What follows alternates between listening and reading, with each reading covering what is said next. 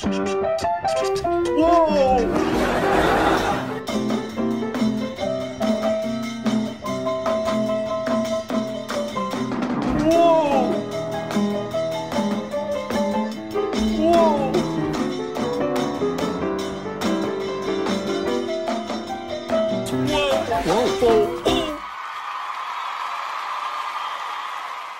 Curtis, Sal Accardo, we are in it.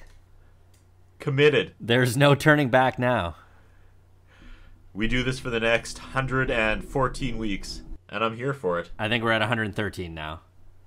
That Okay, number's- I'll be I'll be off by one apparently the entire run. Was there 114 episodes or 115? I've got it wrong every single time. This is 114 total. So, Okay, so this is 113. yeah. So, Okay, this is 113. season one, episode two of Blossom. It's called My Sister's Keeper. Now, Yeah, okay, but counting down, this would be the okay episode two. I'm making this way harder than it needs to. yeah, be. let's just count up. So, we're on episode two. Now, the the way that we watch this show here in Canada is on Disney Plus. So, we're not affiliated with them in any way, but we'll gladly take their money if they want to throw it at us. yeah. I do have to say that the descriptions for the episodes on Disney Plus suck. And let me give you a comparison. Okay. So, the description for this episode on Disney Plus goes as such Joey makes Blossom nervous about her prom date. Uh, And I don't even think that's accurate at all. no.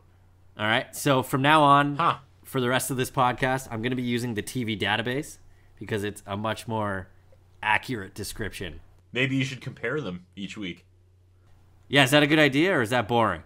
I love it. All right. Here's what we think the fans in Canada will get excited about. Here's what the biggest company in the world couldn't hire good enough interns to do. So, the TV database's summary goes like this Blossom looks forward to her first prom date with Joey's friend Bobby. But after Joey warns Nick about Bobby's reputation as a ladies' man, he forbids Blossom to go out with him. Yeah, that's that. That's a little more colored. Yeah, I, little feel like that's way more we got up in Canada. Yeah, we're getting screwed over here by Disney Plus. In Canada, Disney's like, you folks are just watching The Little Mermaid on repeat. Nobody's cares about Blossom or is reading this. They totally gave it to some intern. You're right. Yeah, yeah, that's exactly what happened. Somebody who's getting punished had to do the episodic description of all 114 episodes of Blossom, and Yeah. He or she was already burnt out by episode two, which is also fun to think about. Blossom overcomes an obstacle.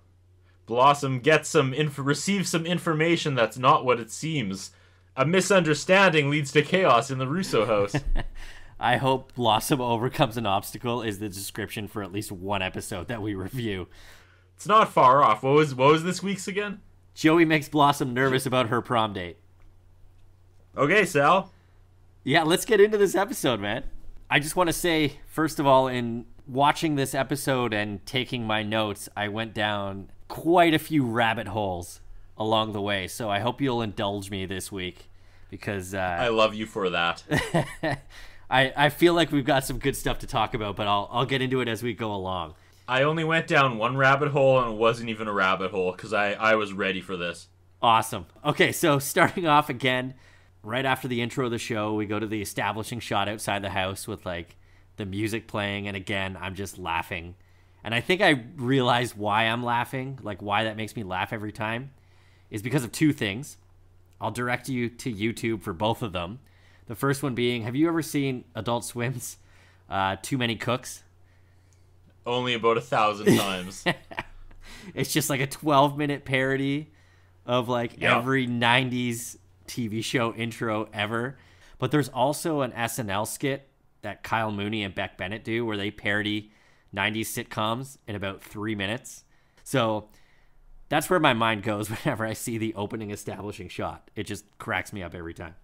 And we're not even into the episode yet. and you're already laughing. That's a that's a testament to our journey. Okay, we are in Blossom's bedroom. Blossom and Six are dancing to a ghetto blaster, which gives me all sorts of warm feelings. Right? I love this scene for the main reason that you can tell Mayim is a gal who cannot dance.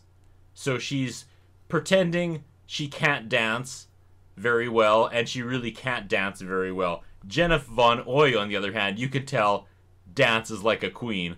And she is pretending she can't dance, because that's the whole thing of this scene, is that Six and Blossom are practicing dancing, and neither are very good. But if you know anything about dancing, you can tell Blossom really doesn't know, and Jenna Von Oy is trying to pretend she doesn't know. And I soaked up every second of that laughing, because you just know. I bet you Jenna Von Oy could just have done like a 22 minute routine. It could have been the whole episode.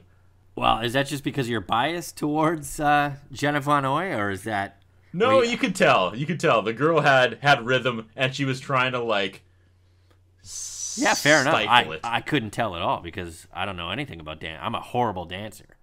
Well, so am I, but I've uh, I've got a child who dances quite professionally, so I notice these things. Right. No, that's fair.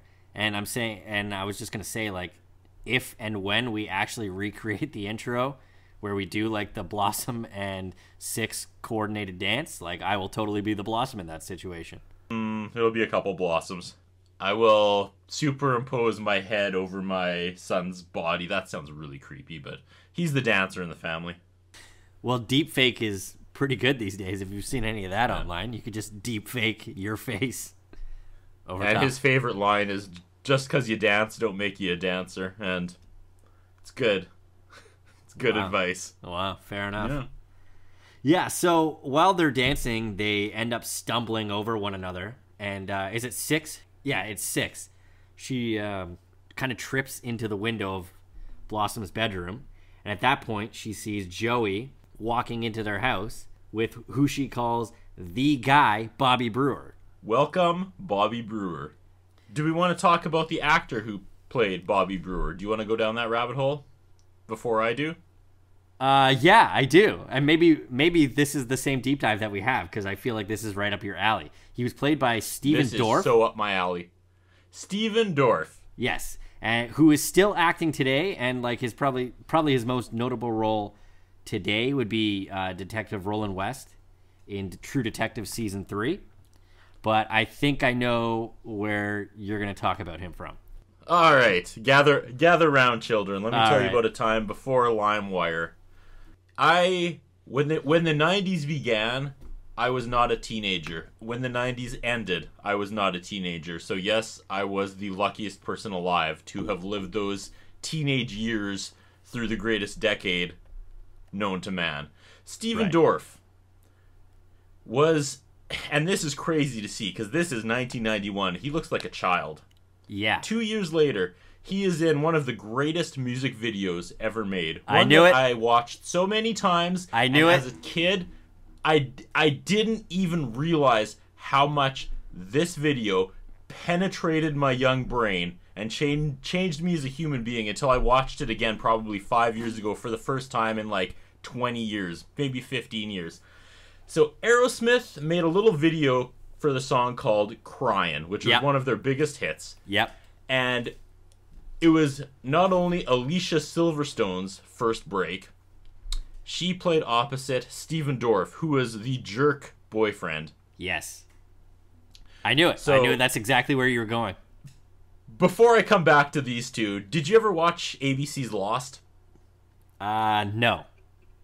Okay. Well, one of the main characters, Sawyer, is also in this music video, which I had no idea till again I saw it for the first time five years ago. That for the you know after twenty years or whatever. So that's neither here nor there.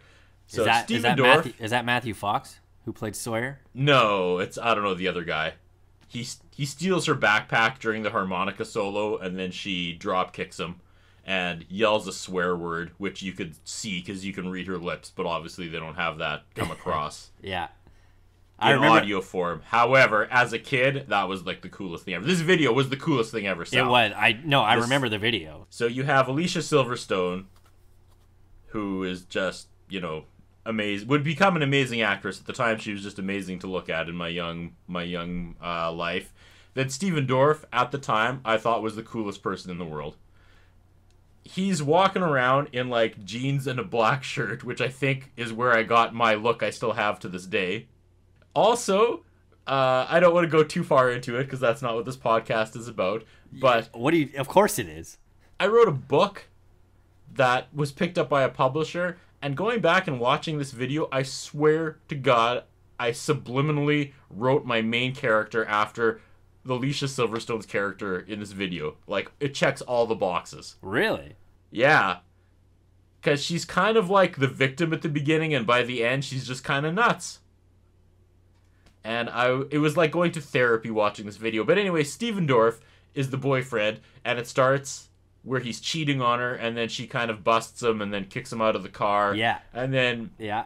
it builds to a climax where she's this is so 1993 you would not you would not see this in a music video today not that you see music videos she is standing on a bridge like she's about to commit suicide and there's all these police cars and there's policemen and then i guess they get a hold of the boyfriend so Stephen Dorff shows up and walks up to Alicia Silverstone standing on the bridge about to commit suicide and he's still kind of a jerk he does this like just get off the like just come here you know he's not sweating this at all Yeah. and there's just so much going on in this video that warped my young mind probably for the worse but i love Stephen Dorff It's a classic music talking video. a few years later the whole 90s i know i'm a few years older than you 90s were counterculture it was cool not to care in a different way than it is today yeah. today is kind of like removed. You're not supposed to feel ups or downs. In the 90s, you were supposed to feel angst and raging against the machine 24 7. Right. And Stephen Dorff was the main character in a little unknown movie called SFW, Okay. which is the most 90s movie you will ever find because it wasn't even a mainstream movie. So we're talking an underground movie starring Stephen Dorff as the main character, and that is exactly where you wanted to be in the 90s. Was talking about this movie and seeing this movie because it was just underground and amazing and was everything the 90s encompassed. And that's my Stephen Dorff story. Then he went away for a little while, and he reappeared in my favorite Britney Spears song video. If it's cool to have a favorite Britney Spears song, Sure it is. 2003's Every Time. I don't know if he was dating her at the time. I didn't really look that up. It's a really sad, slow piano ballad by Britney, and the video is them storming through backstage at some arena having a fight, and he's throwing flowers, and I just love Stephen Dorff. That's my Stephen Dorff story. I don't know any other acting role he has outside of those three. I know he's done a whole bunch of things, like you said. I've not seen season three of uh, the show you mentioned, True Detective. True Detective. Yeah. I saw the first two seasons. I have not seen the Stephen Dorff season somehow, but I shall now. There, are we out of time? That's me professing my love for all that was Stephen Dorff from 1991 to 2003. Or 1993. That was a decade, 93 to 2003. Love the man. And here he is in Blossom. That's great, man. I had no idea. I mean, Big I fan. I mean, once I looked up the the crying video, I knew that that's what you were gonna you were gonna hone in oh, on. Oh, but- yeah. But that's amazing. Jeans and a black t shirt and pretends he doesn't care about anything? Come on. Who does that describe? It's actually kind of interesting how, like, you described him in the crying video, how he was like the jerk boyfriend, because this whole episode of Blossom, that's where I thought it was going, and I was very surprised that it didn't go that way. It is an odd script, my friend. An odd script. So the first time I watched the episode was on my work break, and uh, I had to go back to work when there was like three minutes left in the show, and then I put it off for two days before I finished the rest of the episode. So for two days, I was rolling it around in my head that I was expecting him to play the jerk, and where Yeah. the episode was going to go, and uh, it doesn't go there. You're expecting that other shoe to, to drop, and it never does. And it's weird. I was waiting for the other shoe to drop the whole time, and then it didn't. So in the next scene, First of all, they say, quote, let's go look at him, which is a funny line, but before they do, they have to stop and check their hair in the mirror. there's a few things that I could address in this episode that I I feel like if the roles were reversed, it would not be okay at all. Such as? Well, that being like, let's go look at him. Yeah, Talking about a, a boy coming into their house being like, oh, let's go get a look at him. I feel like if the roles were reversed, it'd be like, ah, that's not okay. You know? yeah. That's one of two things that really stood out to me. In Would that. it be okay by today's standards if it was the same genders and the girls were like, let's go downstairs and gawk at him? Would that be Okay, I feel good like question. I feel like people probably wouldn't bring it up. Whereas if it was reversed today or even in 1991, it would be like, oh, that's weird. That's odd. Like, they're going to go gawk at these girls. That's creepy. Like, you know? Yeah, that's that's fair. We'll call it even from episode one, where they make the joke that Blossom's officially become a woman because they've all been waiting for her for 15 minutes downstairs while she gets ready. Yeah. We'll, we'll call that even. We're All one right. for one. All right, fair We're enough. one for one on kind of the cringy gender jokes for Blossom. All right, if we're keeping score, then yeah, that's good. So the next scene cuts downstairs in the living room, and I just want to say right off the bat, uh, in this episode, Nick Russo, like the father, I think he's becoming my favorite character on the show. Yeah. He has a lot of laugh out loud moments for me. So in this scene, uh, I wrote down he's playing Muzak on his piano. I, I- Okay. what he was playing, I don't think qualified as real music. Fair enough. So he's playing it for Joey and his friend Bobby, and uh, he's he's talking about how he's stressed because he's got a big event coming up called the Hollywood Bowl, to which Joey makes a reference about how many lanes do they have there, and he says no, it's a benefit concert. Classic Joey. And what really surprised me about this was that I assumed that Nick, the father, was like this down on his luck musician, but he rattles off a few big names in music that I wasn't expecting that he's going to be working with. So he was saying that the Muzak song that he was playing on the keyboard for Joey would sound a lot better because Ella Fitzgerald was supposed to do the vocals, but she backed out. Then he went on to say that the benefit is going to have Tony Bennett, Mel Torme, and Steve and Eydie. To which Joey responds with, Some benefit? They're not going to make any money unless we get some names. And, and I'm wondering who they think the audience for Blossom is at this moment. Is that a joke teenage girls are gonna like slap their knees at? I don't know, maybe. So now we know kind of the B plot for the episode is that Nick is got a lot on his mind because he's getting ready to work this benefit, which sounds like kind of a big mm-hmm. deal. Sounds like there's a lot of big musicians there. Yep.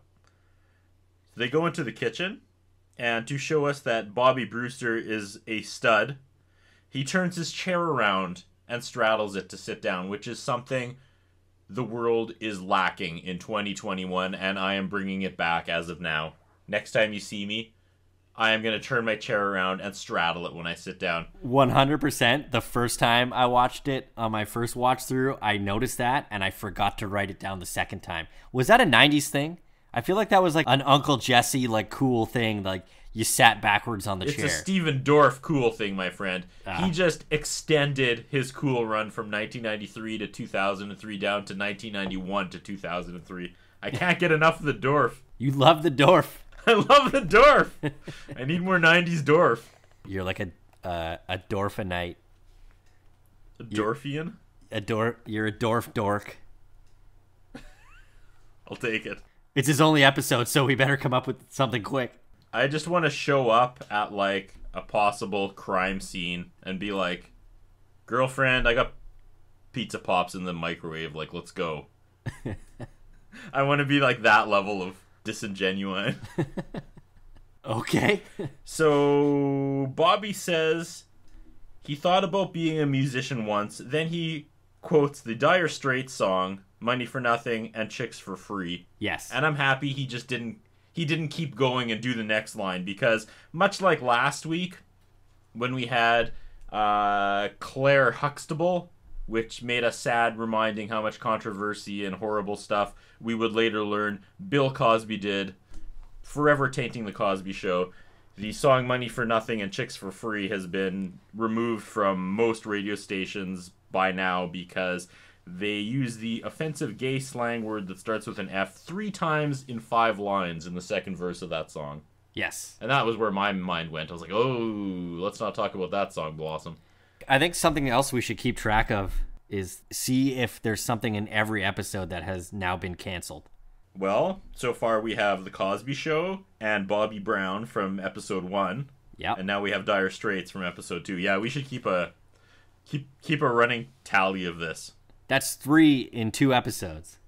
Joey says, "Why does he need more chicks? he could give all his girls tubas and they and he'd have a parade. I don't think I said that right, but he basically said if he gave all the girls that were after Bobby tubas, he'd have a parade. And I love that line because it's so stupid, but it's so fitting with Joey because he probably thought that was clever. Yeah. And I really, I really enjoyed that that they wrote to the character so well. It wasn't something actually clever and funny. It was stupid, which is what made it funny. They really cranked up the Joey being an airhead in episode two here. as we will talk about later, I feel like the pilot went to the network and they forced some changes immediately before episode 2 went into production. Yeah. There are some hard left turns script wise in episode 2 compared to the stage that was set in episode 1. We'll get to that. Absolutely. Now, Six and Blossom walk into the kitchen, and Blossom really quickly figures out Joey's batting average. And Bobby says, quote, You figured that out and talked at the same time? End quote. And I cry for women. What was that, Bobby? Yeah. What an offensive line. So we learn in this, through this scene, that Bobby is getting ready to go to prep school in Arizona because he's going to have a baseball scholarship. yep. And Joey seems to be honed in on all the girls that he's going to meet while he's in Arizona. And Blossom kind of sympathizes with Bobby here, where she says to him, It must be pretty sad that you're going to be leaving all your family and friends to go away to Arizona. Like, that's got to be pretty scary for you. And right away, Yes. uh, this episode went in another direction that I thought it was going to because Bobby instantly seems really into her. And again, from the way that Joey was talking about him, I thought this episode was going to go in a completely different direction here. Absolutely. Couple things before let me get caught up here. Okay. Joey keeps saying they have to go study because of this scholarship. Yes.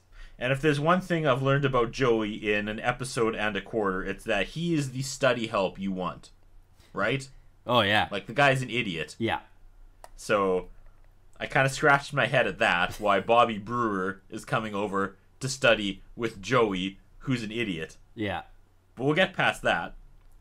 Joey at one point tells Blossom she's being stupid, and the audience laughs at that.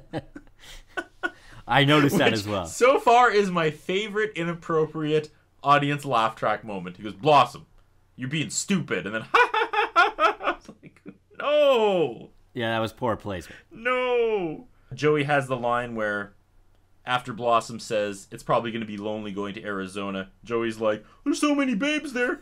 If you want to not be lonely, you go eeny meeny miny yo." Yeah.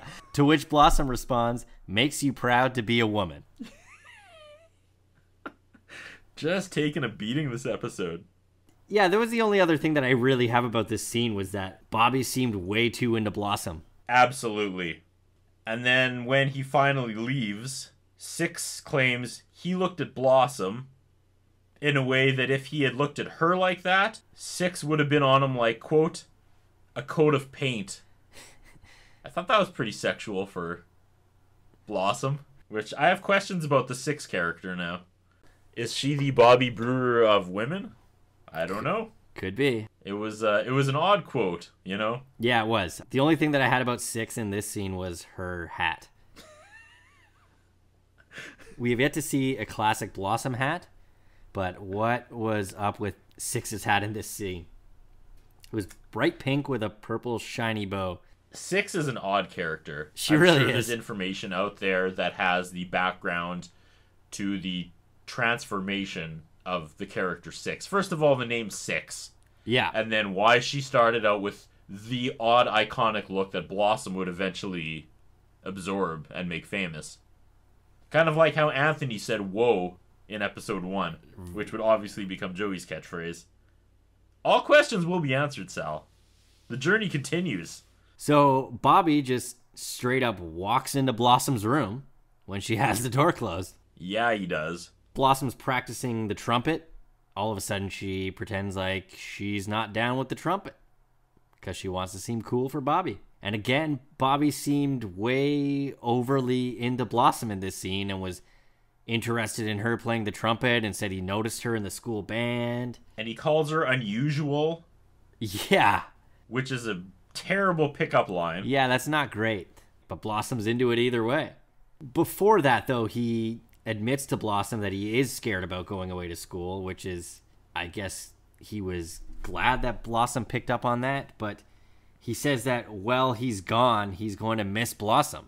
How long have you known Blossom? From the kitchen to walking into her room? You're going to miss this girl? I thought it was weird. This is moving incredibly fast Yeah. for a 22 minute sitcom. Yeah, I thought so too. I thought the pacing was very odd in this. You watch this scene and you get that like darkness is seeping into this, right? You get that feeling? Yeah, that's exactly what I felt the whole time. Absolutely. There's no way this is happening for real in this way. Yeah, This is this is going to end poorly and that is going to be the lesson of this episode. that's exactly what I was thinking the entire time. It's almost distracting how into her he is. Yeah, I I felt exactly that way. You're looking for clues where he's lying to her and putting this act on. He's gonna be the jerk. Yeah. Before Bobby leaves the room, he says that he wants to call Blossom sometime, and I thought that was a very '90s thing to schedule a phone call. You just what do you do? You swipe left these days? Yeah, like it's you know, like it's just it's. I'm gonna call you sometime. Okay, when are you free? Like they had to schedule a phone call. Yeah, I lived through that. If he was really into her, he'd make her a mixtape. And that doesn't happen in this episode, unfortunately. No, we skipped way past that. They are like suddenly on date six. Yeah, it progressed very quickly in the span of from the kitchen to studying upstairs with Joey. As as Bobby It leaves, progressed the, amazingly quick from the kitchen to her bedroom. Is what you're trying to say? I didn't want to say it that way, but uh, Blossom, ladies and gentlemen, Yes. blossom. as Bobby leaves the room and closes the door, she plays the da-da-da-da-da-da charge on the trumpet, like as if he would not have heard that. And you can immediately tell why he's totally into her, right? Ye- Oh man, absolutely. The next scene, I don't know if this is like a week later or when this happens. She's talking on the phone, and it's apparently the 16th call. I think it was just over the weekend. I think they mentioned she said he called her 16 times, or they talked on the phone 16 times that weekend. And even six is skeptical, which was like another, I thought, a little bit of foreshadowing from how this is going to end so badly for Blossom. Because They were playing it up like he was the known like ladies man, and it was like he like uses Yeah. girls and like And Six has a moment of jealousy where she's kind of questioning, like, why does he want you, Blossom? No offense. yeah, absolutely. Which was fair. And I, again, I thought foreshadowing of he's taken this girl for a ride and he's got something sinister planned as the payoff. It never happens. No. So Blossom has this moment where she says, He likes me. He really likes me. To which Six responds with, You sound like Sally Field.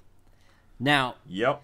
this is the rabbit hole that I went on. And it, it went pretty, it went a lot further than I was expecting it to because the line, like, you like me, you really like me, like, I know that's affiliated with Sally Field, but I never knew why. I don't know either. Was it an Oscar speech? Yes. Now, it gets Okay, crazy. sorry, sorry to sorry to blow that for you. No, Go ahead. absolutely not. No, you're right. But it gets crazier than that. Sally Field won the Oscar in 1980 for her role in Norma Rae.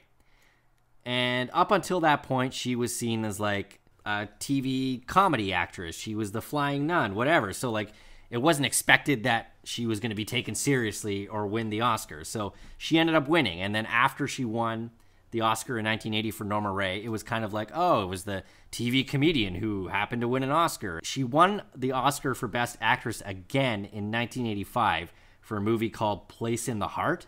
And during her acceptance speech, she felt like the Academy had finally accepted her. And she ended her speech with, and I can't deny the fact that you like me. Right now, you like me. And that often got quoted as, You like me. You really like me. And that's Wow. normally where this would end. However, Curtis, it goes deeper than that. Are you aware of something called the Mandela effect? I sure am. Yes. So there is a Mandela effect theory about this speech. No way. I only know about the Berenstein Bears one. There's a lot of Mandela effects out there, and I didn't know The that this Monopoly Man one. Yeah, with the monocle Yeah. and yeah. So mm-hmm. this is another one of those theories. And the theory is that people swear she actually said, You like me, you really like me, which is verbatim what Blossom says in this episode. Yeah. But in her speech, she didn't say that. So the theory is people also remember her name being Sally Fields and not Sally Field. So they think that where she said, You like me, you really like me, was Sally Fields saying that in an alternate universe.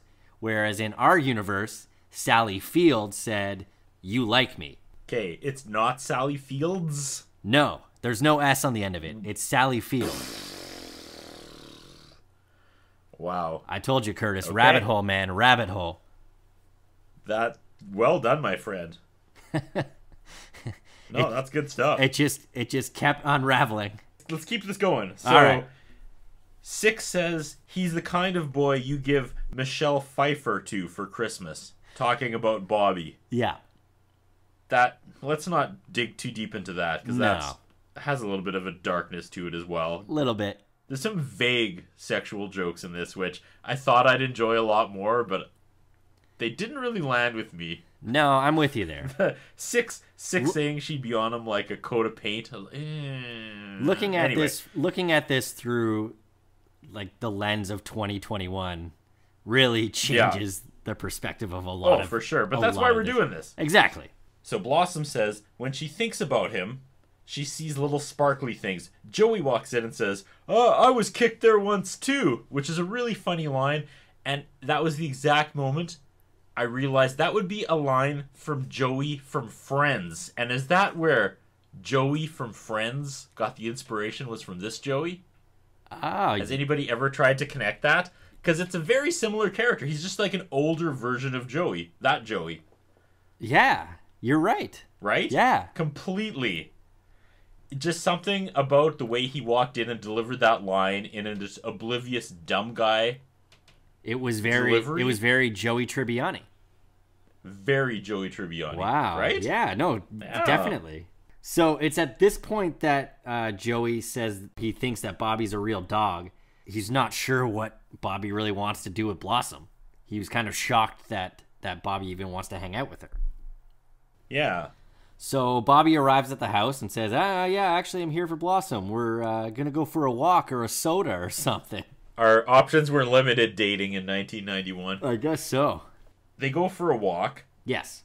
and this is kind of the second time they've alluded to six having a crush on blossom's brother joey that's who she was excited to see out the window at the beginning of the episode right it wasn't bobby it was joey Yeah, I noticed that So too. So then Blossom and Bobby leave on their walk, and she kind of swoons over Joey and says, Well, do you want to go for a walk with me? And Joey goes, Yeah, sure. Start without me. And she gets excited and leaves the house, and he turns around and goes, like, back into the living room. Which, again, not cool. it was played for laughs, but total jerk move yeah. the characters are becoming very inconsistent, which is an ongoing theme of this episode, which is where we go next.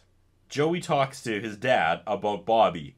Now, Bobby is someone who basically scores with every girl he goes out with. That's said aloud. It's not even vaguely. What's the word I'm looking for? It's not alluded to. Thank you. It's not alluded to. So, dad's obviously not excited about that. No. He says, "Oh, you're talking about Bobby the dead boy." Yeah, also funny. So Blossom returns home and she's dancing and pirouetting and spinning because Bobby asked her to the junior prom. Yeah. Joey has a really good moment because he starts out dumb, but it turns into a good moment because he's worried about his sister. Yeah. And he doesn't want his best friend to just, like, you know, seduce his sister, which shows he's actually a pretty good guy. Yeah. And he's really driving it home and he says Bobby Home Run is taking Blossom the rookie to the junior prom. Yeah. He basically doesn't want his friend to deflower his sister and have Blossom just be like another number, which is good. It's a good moment for him, you know. It's a, it keeps it in the Joey character, but it's also manages to give him a little more depth where he's not just the dumb guy. He actually is a good guy, worried about his sister, and for some strange reason, he's dressed like Aladdin. What? go look. He's wearing like uh, a crazy, crazy purple and gold short sleeved shirt that looks like the carpet, and then he's wearing a gold sleeveless vest over top. if the song Arabian Nights was a wardrobe, it would be that. that I didn't pick up on. What I did pick up on in this scene was that I noticed that Nick had an earring. He had like a sparkly earring in his left ear in this scene. And I thought, oh, they're like, he's not musician enough. We got to make him look more musician. What does he need? He needs one sparkly earring in his left ear. And honestly, you're making that as a joke, but you're probably not wrong. I really feel like the channel or the studio or whatever stepped in after seeing the pilot Yeah. and gave them a list of demands to almost dumb the show down compared to the pilot. All the praise that we had for episode one being like, this thinks outside the box. This is so like ahead of its time. This is so It's gone. It's been scrubbed. So Nick walks into Blossom's room. There's another big name drop that he was working with Liza Minnelli on this benefit. Did you go down this rabbit hole? No, I did not. I kind of did, and then I gave up because the line is, and it's clearly a shot or it means something. Where the problem is, there's 15 acts, 14 of them want to end with the song "New York, New York." Yeah. all of them, but Liza Minnelli, and that obviously meant something. So I googled it, and she was in a movie in the 70s called New York, New York. Okay. So was the joke she's the only one that probably should end her set with New York, New York, and she's the only one that didn't want and to? she doesn't that- want to do it. Yeah, that makes sense. Was that the joke? Okay. This was the scene where I literally leaned back in my chair and said, What is happening with this show from last week to this week? Yeah. He's no longer acting like he has a great father daughter open dialogue and he's just putting his foot down. He's not trusting her and he's saying, This is the way it's going to be, which is a completely different parenting strategy than he had in the first episode. Right. I was really scratching my head at this. I feel like episode one, Dad could have sat down and been, Blossom, I trust you. Here's where we're at. Bobby has a history of expecting sex from all of his dates. Just so you know. I have every reason to believe taking you to junior prom is going to end with him expecting to sleep with you. Yeah. I feel like they could have easily had that conversation. And he could have approached it that way, giving her a heads up, and even saying, You're probably not ready for this, so ball's kind of in your court. Like, you have to really roll your head around that this is what he's probably going to be expecting at the end of the night, and you're 14, so, you know, not telling you not to do it, but you're probably in over your head at this point, going to the prom with Bobby, who has this track record of sleeping with everyone. And instead, he was like, This is the way it is, you can't go. Isn't that kind of his role in the show? Because, like, even in the first episode, he kind of right away went to, like, well, maybe she's on drugs. Maybe it's this. Maybe it's that. So I feel like from the scene prior, when Joey kind of, like, built it up as, like, it's well known that he's the lady killer, that he would. I feel like that's kind of par for the course. Like, he would just freak out. Because it kind of gets explained later when uh, Anthony finally comes into the episode and talks about it is that like Nick knows how to deal with, you know, his sons, which is way more loosely than it is having a young daughter. It's a really good take. That's a really good take, Sal. Yeah, I mean, I don't know. That's my take on on how the scene went. But he did come in and kind of say those things to her, but it came in. It, you're right. Like it, it didn't come in a sense of like, all right, well, the ball's in your court. It came of like, I'm forbidding you to do this, and that's because this guy is known to be like this. I guess you're right, though. Joey did get him riled up. Yeah. But I feel like he would have at least given her the chance to come to that conclusion herself, which he didn't. He was like, "There's no way this is going to happen." But maybe, maybe he was under the impression that she wasn't against that. I don't know. Yeah. You you changed my you changed my mind a little bit.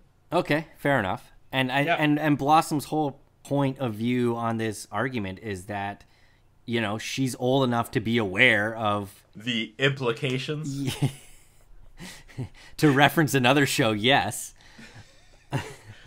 but she is, you know, old enough and smart enough to to be aware of that and that her dad should trust her, which is kind of her point. fair. But it, it doesn't go over that well in this scene.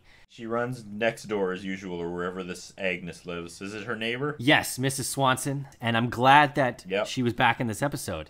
So as I do deep dives on, you know, uh, guest characters, uh, I did Yep. one on Agnes last week, and uh, she's played by actress named Eileen Brennan, who passed away in 2013.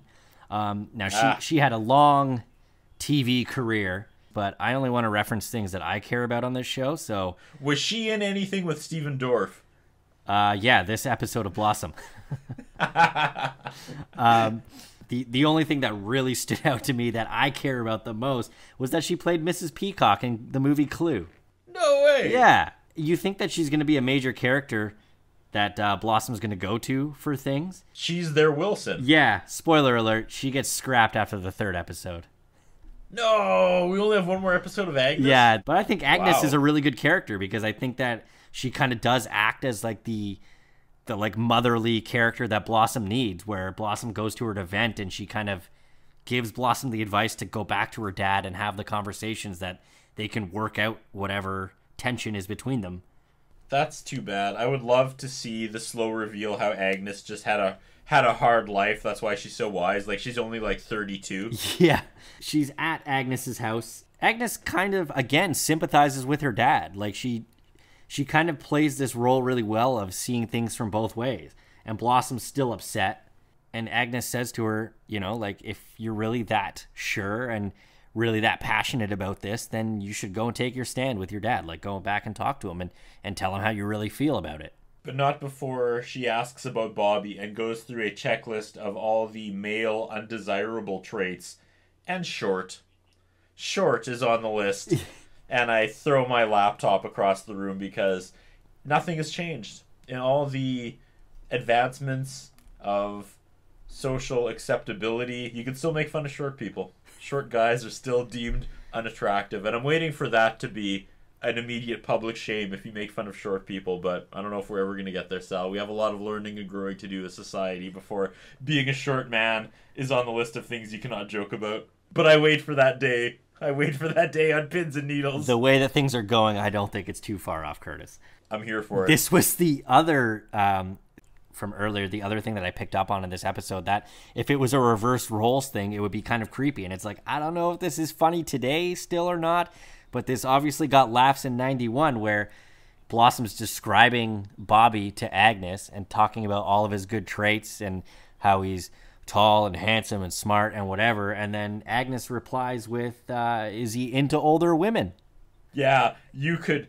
I'll give you that one. You could not do that joke the other way. no Not even in 1991. not at all No, not at all. Yeah, that is a definite red light. Yeah. So that's where uh, Blossom and Agnes end in this episode. Is Agnes says, "Well, if you really feel that passionate about this, then you should really take a stand and go talk to your dad and tell him, you know, that you're mature enough to make your own decisions." And that's kind of where the Agnes wisdom kind of wraps up for this episode. Mm-hmm. So the next scene, This show just gets weirder. I don't even know where to begin with this. Blossom is asleep in her bedroom, and Bobby is crawling up to her window on the worst looking ladder I have ever seen. But that's part of a joke, which I thought was really good. Yeah, the ladder is really shoddy looking because he made it in shop class that day. So he was in school that day with the forward thinking of I'm going to wait till Blossom is asleep tonight. I'm going to build this ladder, take it home with me so that I can climb up to her bedroom window when no one's around. And not pressure her into having sex, which is where I assumed this was headed. Right? This was where I expected the darkness to start seeping in, and we're going to learn our lesson. We're going to learn Stephen Dorff's true colors, where, much like Alicia Silverstone, he doesn't really care if she's going to throw herself off a bridge or not. He only wants one thing. Yeah. But no. No! I can't even wrap my head around this, Salem. So this is so con- convoluted. So maybe he's respecting all the women he sleeps with. I don't know, but he has a history of sleeping with everyone he dates until now. I don't know how I'm supposed to feel about this character. He's sneaking up to her window as the absolute gentleman. He basically says he's going to talk to her dad so she'll let him go to prom with him. And he's not interested in any sort of physical contact with Blossom past kissing, Yeah. which I like I what is happening? Who wrote this? Yeah, it really had me questioning the character altogether because you and I were on the same page of thinking that we're just waiting for the other shoe to drop and thinking that that's where this is going to go and it just keeps not happening. But then I thought like maybe it was maybe he actually is the good guy and everybody just assumes that he's hooking up with all these girls and he's really not. Maybe he just is. I also thought that. I thought maybe that would be the revelation. yeah, but it's not it's all it's all his reputation and he's not as cool as people think he is. Yeah. And he doesn't have this he doesn't have the numbers everybody assumes he does. Right, but the writer no. the writers didn't do a good enough job of giving that backstory to be like, oh, this is how it actually was the whole time. Like, so you just assume point- that it's gonna be Stephen Dorff being a Stephen Dorff type. Right? At this point I'm really looking at the time left in the episode and thinking to myself this guy is actually legit. Oh my God. This guy that is two years older than Blossom, that has a history of sleeping with all the girls he dates, has completely given up on that to fall for trumpet playing Joey's little sister, two years younger than him. Dude, I am so glad that you said that you looked at the time left in the episode because that is exactly what I did at this point as well. And I was like, they have a lot of ground to cover if he's gonna take her to prom and dump pig's blood on her like they do in Carrie. Yeah, exactly. Is this a two-parter? Right? Are we going to see to be continued at the end? I don't know. I don't know what to do with this episode, Sal. Bobby said that he's going to talk to her dad about it. And then they kiss. Yeah. They kiss before he leaves. And this is supposed to be a big moment. But how is it when he sleeps with all his dates? You know what I mean? If it was really trying to like reveal him to be like the good guy all along, like it just there wasn't enough backstory there to show that. Does this warrant an ooh from the live studio Yeah. audience if it's Blossom's first kiss with a womanizer? I can't wrap my head around Stephen Dorff's character. The next scene, Anthony's there. Hey, yes, Anthony. Anthony is finally in this episode. And guess what he does? Like 5 seconds into being in this episode. He references that he used to be a junkie. Blossom asks him if he's ever disappointed their dad, and he responds, Yeah, being a drug addict for four years. Which again, I hated myself for laughing, but I wasn't laughing at the fact that he was a drug addict for four years. I'm laughing at the fact that this is this character. He shows up for 30 seconds and all he brings to the table is that he's a former drug addict and the laugh track goes off. Yeah. I just what a weird character for this show. Obviously, they're just planting seeds, and he's gonna have future episodes where this storyline is the feature storyline at the time, and they're gonna explore this more. I get that, but it was like that in episode one too. He just he has one line, and it's about how he used to be a drug addict, and then the laugh track goes off. Very confusing. And also, he looked like a jet in this scene, like an outsider. Like what what was his attire here?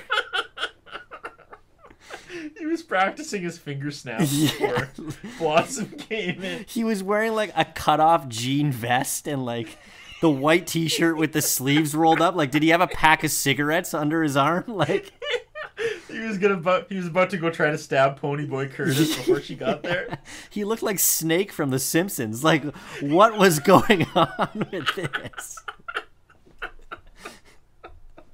They really had to because he dressed so He was in like a almost like what was he wearing in episode one? It was all like preppy. He Yeah. wearing like a loose untucked suit, wasn't he? Yeah, pretty much. Totally. The studio was like, no, no, that's not how drug addicts dress. They have they wear jean jackets.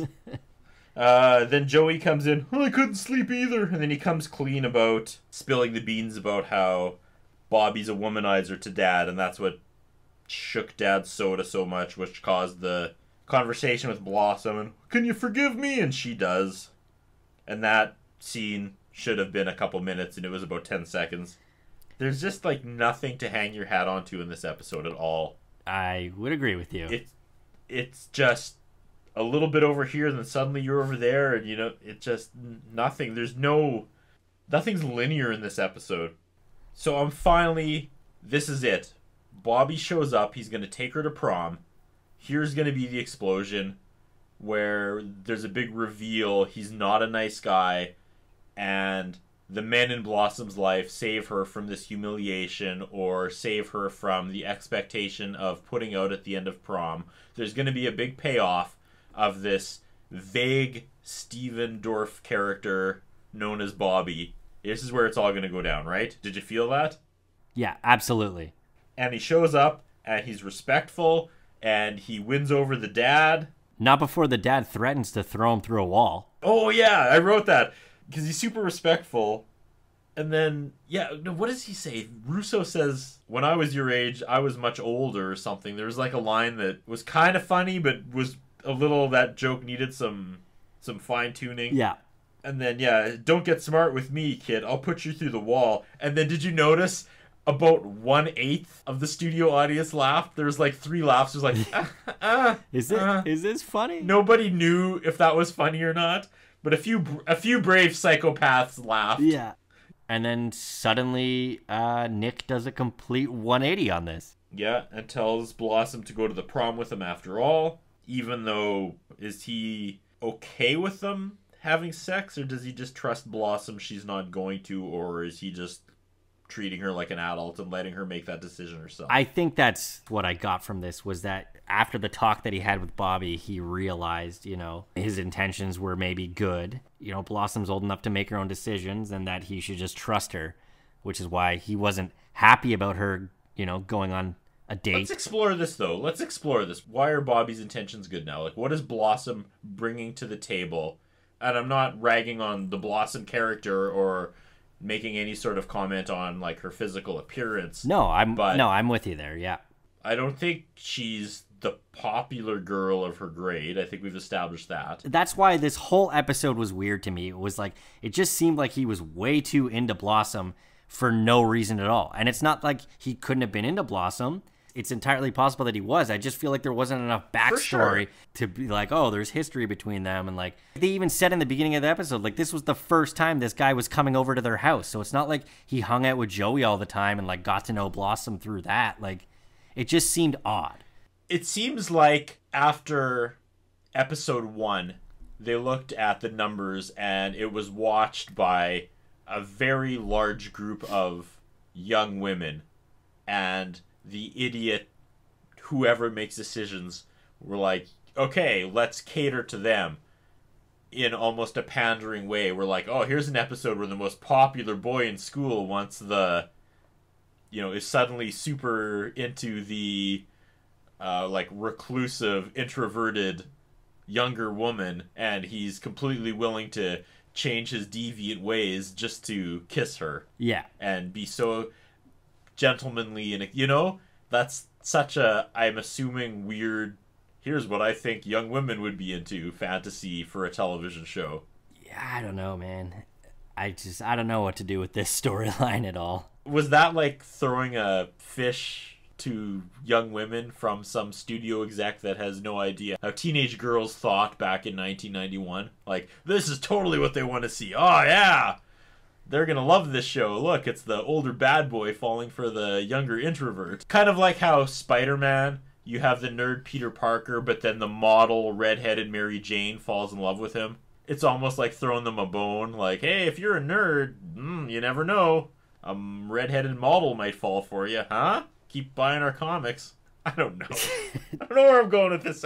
I hate this episode. I hate the writing in this episode. I like the characters. I'm enjoying this show, but this is just the most convoluted script I might have seen ever in television. I think you're right. I agree with you. 14 year old Blossom comes down the stairs in her dress, and one pervert in the live studio audience catcalls her. I imagine this guy standing up and being like, "Yeah, ow, woo!" and then looking around and no one else did that. No he one else? Back down, all embarrassed. Just me. No, no one else. No. Nick is also in a tuxedo because he's getting ready Yes. to go to this Hollywood Bowl. Which we would find out later ended before senior prom Yeah, or ju- or junior prom. sounds pretty lame. And where's six? Is she still on the walk waiting for Joey? Yeah, she's waiting at the park for him. It it was like they shot this episode and realized it was two and a half hours. There's a lot of story gaps that were not filled in here at all. Bobby asks Nick why he's all dressed up, and Nick says, I'm coming with you two, is that okay? And he says, Sir, it would be an honor. To where Nick says, Relax, kid, you already got the part, which is a great exchange. But now I'm looking at Bobby going, Why do girls like this guy? Like, this is not the kind of guy that girls fall for. I don't know. Just not, nothing makes sense in this episode. Nothing makes sense casting wise. All right, Curtis. So this brings us to the last scene. I've given up on the other shoe dropping at this point, and this is just legit. Yeah. So Nick runs in the front door in a rush, and Joey and Anthony are both sitting on the couch wearing tuxedos. So now Nick runs in in his tuxedo asking if Blossom's back from the prom yet. Nick goes on to ask Joey why he's home so early, and Joey explains that his date wanted to go to the prom to actually dance. He said she liked the punch and wanted to introduce him to her parents. He got hustled. So, why did he care if Blossom went on a date with Bobby if Bobby wasn't that guy? I don't know. Nothing makes sense in this episode. No, they can't finish this episode without a second reference to Anthony's drug use. Yep. So Nick asks Anthony why he's in a tux, and he says, "Well, everybody else was dressed up, and he still had the tux that he rented from his prom." Which Nick goes on to ask him why he didn't return the tux, and Anthony says he couldn't remember where he rented it from. Because he's a drug addict. Yeah, and it seems like at this point, Nick seems really lax when it comes to Joey and Anthony. When Anthony was 16 going to his junior prom, was so off of his ass that he couldn't remember where he rented his tux from, and Nick didn't seem to care. That's a really good point. Where he cares about all of a sudden who Blossom's going to a dance with to dance. And he doesn't seem to care that Joey left prom because he realized he wasn't going to score. Yeah. All three are in tuxes, which you think is going to pay off in a joke, and it doesn't. No, not at all. So Blossom and Bobby arrive back and they say goodbye. And it is just the perfect stupid ending to an episode that makes no sense. Yeah. They try to force some comedy by showing the three men's faces in the window, but it's not funny because I am trying to wrap my head around this episode and what has transpired. So, we have one of the most popular male students in high school, plays sports, all the girls love him. He has slept with many women. He falls for Blossom, who's two years younger than him, who is not that type of girl, but he just can't get over her to the point where he foregoes his usual dating behavior and he's treating her with the utmost respect, going way over the top just to take her to prom, not expecting sex. And then at the very end, they say goodbye, and it's almost a shoulder shrug. And he's going to be there for another week, and there's no talk of getting together the next day or anything. It's like, this is it. Yeah. And you're trying to tell me Blossom doesn't fall to her knees, screaming and crying and thrashing because this girl has won the high school lottery and now it's all been taken away from her. If episode 3 and episode 4 aren't her laying on the couch crying for 22 minutes, I don't know what to tell you. Could you imagine? Could you imagine dating the most popular girl in school suddenly and then her leaving? Where, where does that where does that leave you? She's going to be chasing the Bobby high, the Stephen Dorff high, the rest of her life. And it's like, shoulder shrug. Well, that's it. All right. Maybe it'll end off like uh, the crazy video. Oh, Sal. Oh, No? No good? No, no. So last week you brought up producer Paul Junger Witt, Yeah. and I didn't notice that the first time. And I looked into it this time, and your It's inflection. just a funny name. He sound he sounds like a Tarzan villain. yes, I don't know if because Junger sounds like jungle. I, I'm with you. So I decided to do a little bit of research on this guy. He has a really long career in television and movies. His TV career started in the 1960s. He was a producer's assistant on Farmer's Daughter. Ah, He went on to produce The Partridge Family. He also has TV show names like Benson, Golden Girls under his belt, Blossom, obviously, Empty Nest. But then I had to stop dead in my tracks. He he had a lot more shows that I could have gotten into, but I had to stop at this one and research everything that I could about this. And and here's here's where it goes. He produced a 1995 series for CBS called The Office. no. Yes, What? gets weirder than that. The Office on CBS in 1995 was a remake of a British series called Upstairs Downstairs. How has nobody ever talked about this? How has this not come up? How did I have to watch Blossom and do a Blossom podcast to figure this out? This Mandela effect, bud. So here is a synopsis of the 1995 series of The Office. An office Okay. comedy version of the British series Upstairs Downstairs, centering on the camaraderie of executives and their secretaries of a busy corporate office at a design packaging company. It ran on CBS in 1995. There were six episodes made. One of them went unaired. Paul Junger Witt was a producer on that show. How many walls could you possibly punch being part of 1995 Office Right? and missing it? right? How much drywall was destroyed? How much how much alcohol is still consumed to this day by the people who worked on that show and have it not be a hit? And I have never, before this day, before I looked up Paul Junger Witt, did not know that. The parallels between that Oh yeah. and like it's just how has this never like how did I not know this? How does nobody Yeah. widely talk about this? That seems like that would be day one stuff if you're researching the office. Right? And it's all because I looked up oh. Paul Junger Witt. You're welcome. So he so he didn't fight Tarzan is what you're saying. One final thought that I probably should have talked about in the middle of the episode, but I didn't. Let's hear it. I was not the most popular person in high school. I wasn't like beat up or anything, but I definitely was not hanging with the cool crowd. I was more towards middle of the social circle, which was fine. However, if one of the most popular girls 2 years my senior was suddenly interested in me, I would be too paranoid to even consider, too waiting for that other shoe to drop, too skeptical of these events to even consider going on a walk with her. I would 100% assume she is going to take me to prom and carry me, like drop pig's blood on me and humiliate me for being stupid enough to think that the most popular girl, two years my senior, would want have want to have anything to do with me. And that was where I thought they really kind of threw the character of Blossom down the stairs a little bit. I felt she would have had questions, which she clearly did not. She went along. I mean, it worked out for her, Right. but at the same time, somebody who is a smart young woman would have definitely been skeptical, I felt. Is that bad writing or are we just really paranoid? Both? No, it's bad writing. It's 100% bad writing. It was like they took episode two's script, tore it up, and asked some 50 year old guy in a suit in some office on the sixth floor and said, What do you think a 14 year old girl would be glued to the TV watching? And oh, how about the most popular senior in school wants to take her to the junior prom? Write it, run with it. I don't care if it's not connected in any way from what we saw last week and causes all the characters to act in ways they wouldn't normally act from the amazing pilot the week before. Make it happen. We need to bring those numbers up.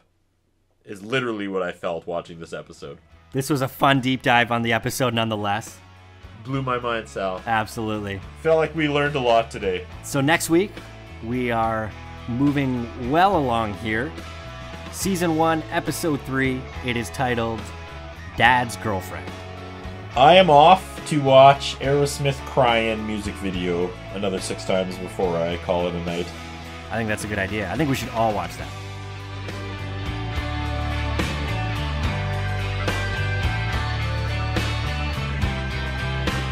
And for some strange reason, he's dressed like Aladdin.